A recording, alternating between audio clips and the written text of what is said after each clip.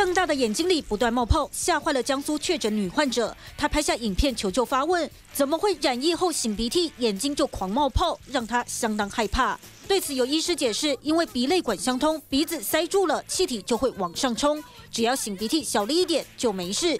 同样对确诊后觉得出现难以理解的情况，也发生在山东青岛。大家有没有听说过生发猪？今天是我阳的第二天，原先我这些地方都不长眉毛，你看这都长得超范围的。少年自称确诊后眉毛、头发突然长很快，还长很多。虽然被病毒搞得全身酸痛，但对于毛发变浓密感到开心。另一位确诊者出现的症状，则是把家人逗乐了。这什么？这中了什么猪啊？确诊高烧四十度后，男子整张脸严重肿胀，眼睛睁都睁不开。他妻子陪着看医生外，还不忘拍下这难忘的画面。他整个脸都肿，嘴巴、鼻子、眼睛，整个大脑门都肿。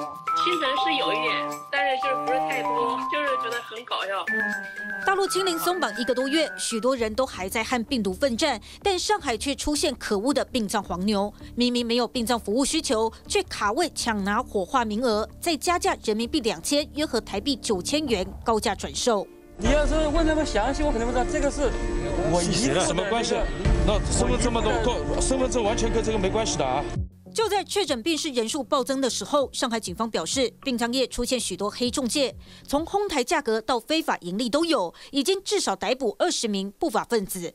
TVBS 新闻张志明、李敏珍综合报道。掌握全球情势、国际新闻，全新选择 YT 频道 TVBS 国际 Plus，扩大视野。欢迎订阅并开启小铃铛。